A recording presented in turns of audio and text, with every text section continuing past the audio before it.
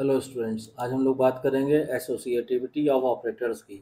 तो जैसा कि आपने पिछले लेक्चर में देखा था तो उसमें हमने ऑपरेटर्स की हिरारकी ऑफ़ ऑपरेशन बताया था आपको। अब आज हम लोग डिस्कस करते हैं कि एसोसिएटिविटी ऑफ़ ऑपरेटर क्या होता है। ठीक है? देखिए today we will discuss about the associativity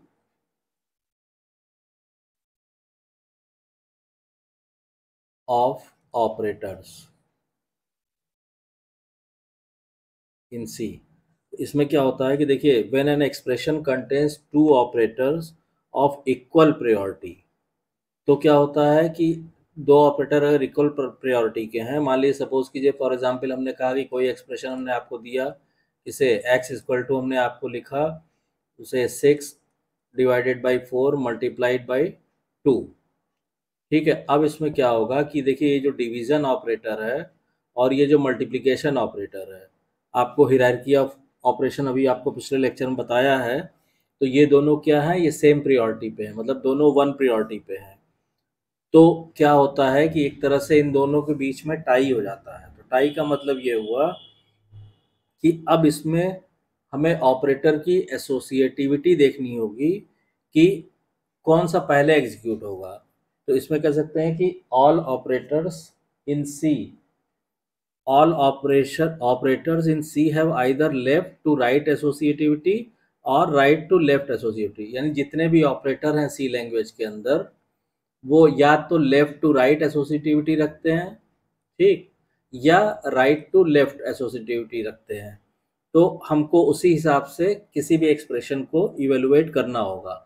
अब मान लीजिए हमने से एक एग्जांपल ली कि मान लीजिए हमने कोई एक्सप्रेशन लिया say x is equal to three by two multiplied by five. अब इसमें क्या होगा कि ये मल्टीप्लिकेशन और ये डिवीज़न और ये मल्टीप्लिकेशन ऑपरेटर दोनों सेम हिरारकी लेवल पे हैं। तो इसमें क्या होगा कि फिर टाई होगा इन दोनों ऑपरेटर्स के बीच में। तो this tie is settled using the associativity of division and multiplication operator तो ये जो टाई होगा तो हम इसमें फिर एसोसिएटिविटी चेक करेंगे। ठीक है? डिवीज़न और मल्टीप्लिकेशन ऑपरेटर के बीच में। और उसी एसोसिएटिविटी के हिसाब से हम काम करेंगे। तो इसमें क्या होगा? तो जब आप एसोसिएटिविटी टेबल में देखेंगे तो पहले डिवीज़न एग्जीक्यूट होगा, उसके बाद मल्टीप्लिकेशन एग्जीक्यूट होगा। इसका मतलब क्या हुआ? कि पहले आपका थ्री बाई टू मतलब वन पॉइंट फाइव हो जाएगा इन टू फाइव तब ये मल्टीप्लाई होके सेवन पॉइंट फाइव आएगा। तो इसी को बोलते हैं एसोसिएटिविटी ऑफ़ ऑपरेटर्स ठीक? तो ये तो मान लीजिए एक एग्ज़ाम्पल हो गई। सपोज़ कीजिए दूसरी एग्ज़ाम्पल हम लेते हैं, इसमें हमने क्या लिखा? हमने लिखा कि X equal to equal to मतलब असाइनमेंट ऑपरेटर y और हमने इसको अलॉट कर दिया फाइव ऐसे। अब इसमें क्या होगा कि इसमें दोनों, ये जो दोनों ऑपरेटर ये भी असाइनमेंट ऑपरेटर है और ये भी असाइनमेंट ऑपरेटर है। तो here both assignment operators have the same priority जब ऑपरेटर सेम है तो प्रायोरिटी भी सेम ही होगी। तो so order of operation is decided by using associativity of assignment operator तो अब इसमें कौन सा, पहले ये एग्जीक्यूट होगा कि पहले ये एग्जीक्यूट होगा, ये डिसाइड होगा, हम देखेंगे असाइनमेंट ऑपरेटर ये जो असाइनमेंट ऑपरेटर है हमारा दिस इज़ असाइनमेंट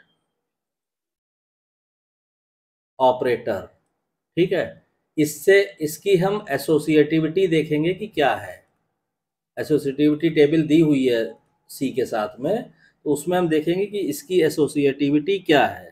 तो उसमें हम देखेंगे कि इसकी एसोसिएटिविटी आप टेबल में देखेंगे तो आपको राइट टू लेफ़्ट मिलेगी। Right to left.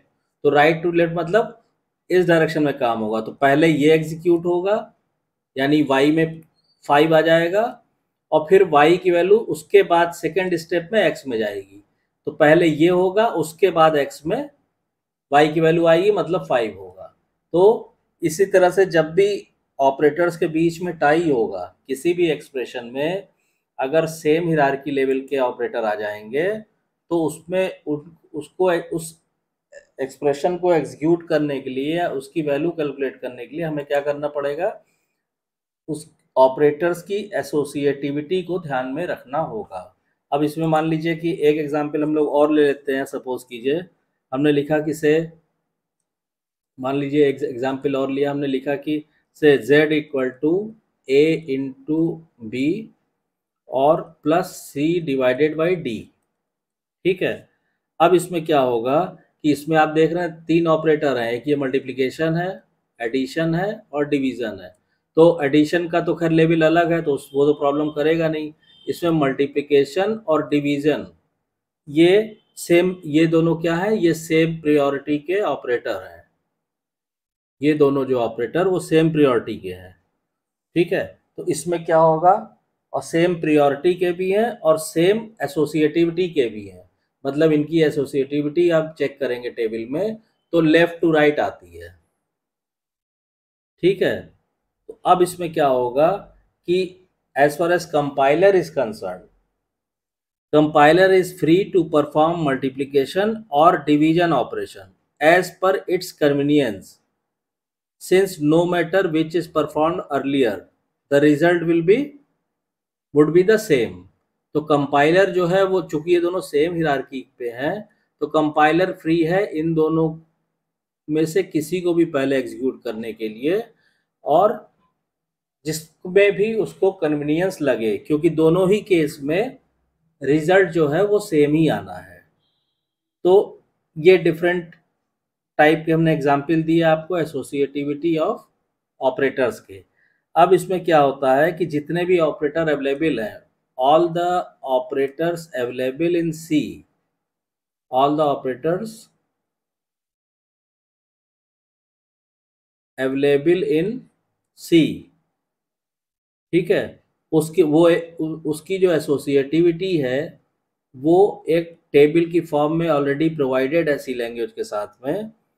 तो आपको जो भी हिरारकी समझ लीजिए या प्रेसिडेंस जिसको बोलते हैं तो precedence of operator precedence of operator मतलब कौन सा ऑपरेटर पहले एग्जीक्यूट होगा और कौन सा बाद में एग्जीक्यूट होगा। ठीक? और दूसरी चीज़ क्या है कि उसकी एसोसिएटिविटी ठीक है, ये ऑलरेडी एक टेबल की फॉर्म में सी लैंग्वेज के साथ प्रोवाइडेड है तो और ये ऑलरेडी डिफाइंड है these two thing precedence of operation या ऑपरेटर्स और एसोसिएटिविटी ऑफ़ ऑपरेटर्स ठीक, ये दोनों ऑलरेडी प्री डिफाइंड है सी लैंग्वेज के अंदर predefined and you can say predetermined उसको कोई भी यूज़र या कोई भी प्रोग्रामर अपने हिसाब से चेंज नहीं कर सकता है। वो जो डिफाइंड है, उसको प्रोग्रामिंग उसी हिसाब से करनी होगी और जो इंस्ट्रक्शन का एग्जीक्यूशन है या अर्थमेटिक एक्सप्रेशन का जो इवेलुएशन है, वो उसी हिसाब से इवेलुएट करके उस अर्थमेटिक एक्सप्रेशन की आपको वैल्यू कैलकुलेट करके देगा, ठीक है? अब जैसे मान लीजिए कुछ एग्ज़ाम्पल आपको दे देते हैं कि किस तरह से एक्सप्रेशन में हम लिखते हैं तो सपोज़ कीजिए मान लीजिए हमने यहाँ पे कहा कि से दिस इज़ एल्जेब्रिक एक्सप्रेशन मतलब ये तो हम सिंपल अपनी एल्जेब्रा की फॉर्म में लिख देते हैं, और उसको जब हम सी की फॉर्म में लिखेंगे, ठीक है तो सी की फॉर्म यानी हम इसको लिखते हैं सी एक्सप्रेशन सी लैंग्वेज जब हम लिखेंगे तो सपोज़ कीजिए पहला है, मान लीजिए हमारा है say A into B minus C into D. अगर ये है तो इसको सी लैंग्वेज में जब हम लिखेंगे तो इसको हम लिखेंगे ए, ये मल्टीप्लिकेशन का साइन माइनस सी और डी। ठीक है? सेकेंड एक्सप्रेशन ऐसे ही ले लीजिए। सपोज़ कीजिए, ये दिया हुआ है M plus N into A plus B तो जब इसको सी में आप लिखेंगे तो यहाँ पे जो इंटू है, वो बाई डिफ़ॉल्ट नहीं ले लेगा। तो आपको मेंशन करना पड़ेगा एम प्लस एन फिर मल्टीप्लिकेशन साइन और फिर आप लिखेंगे ए प्लस बी इस तरह। इसी तरह मान लीजिए कोई क्वाड्रेटिक इक्वेशन है, से हमने कहा three X square plus two X plus five इस तरह की इक्वेशन है। तो इसको जब आप सी में लिखेंगे तो आप, चूँकि स्क्वायर का कोई एक्सपोनेंशियल का बताया ना, कोई फ़ंक्शन कोई कीवर्ड नहीं है एक्सपोनेंशियल के लिए तो आपको लिखना पड़ेगा three into X into X plus two into X plus five इस तरह आप लिखेंगे अपने प्रोग्राम सी प्रोग्राम के अंदर। और मान लीजिए एक डिवीज़न का भी एग्ज़ाम्पल ले लेते हैं। सपोज़ कीजिए आपको दिया हुआ है A plus B plus C और डिवाइडेड बाई ऐसे लिखा है डी प्लस ई तो इसको जब आप सी में लिखेंगे तो आप क्या कीजिए? A plus B plus C ये तो ठीक है। यहाँ डिवीज़न ऑपरेटर लगाइए और फिर इसको ब्रैकेट में ले लीजिए डी प्लस ई तो मेन यही सब चीज़ें याद रखने की है। और अगर एरर आती है उससे घबराने की ज़रूरत नहीं। आप देखिए किस लाइन में एरर है, हमने क्या गलती की है। मान लीजिए, हमने एक एग्ज़ाम्पल और लिया से इक्वेशन दी हुई है two B Y divided by D plus one minus X upon three Z plus Y Z plus Y ये एक्सप्रेशन दी हुई है एल्जेब्रा में। ठीक है, हमारे नॉर्मल एल्जेब्रा इसको हमें सी प्रोग्राम में लिखना है सी लैंग्वेज में। तो हम क्या करेंगे, पहले टू बी वाई लीजिए तो हमने लिखा two into B into Y ऐसे लिखा हमने, ये किया, फिर डिवाइड कर दीजिए, फिर लिखिए डी प्लस वन ऐसे, और फिर माइनस यहाँ पे क्या आ जाएगा? यहाँ पे तो केवल एक्स है ऊपर और divided by three into Z plus Y तो आपको पूरा एक्सप्रेशन सी में इस तरह लिखना होगा।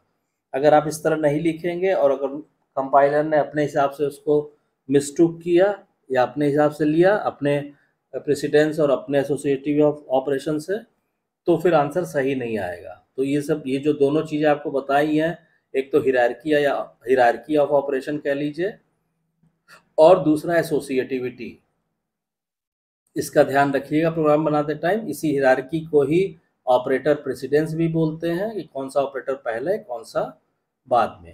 ठीक है? और एसोसिएटिविटी लेफ़्ट टू राइट है या राइट टू लेफ़्ट है, जो भी, जिन भी ऑपरेटर्स के बीच में टाई हो रहा है, उनकी एसोसिएटिविटी क्या है? उस हिसाब से उसकी कैलकुलेशन होगी।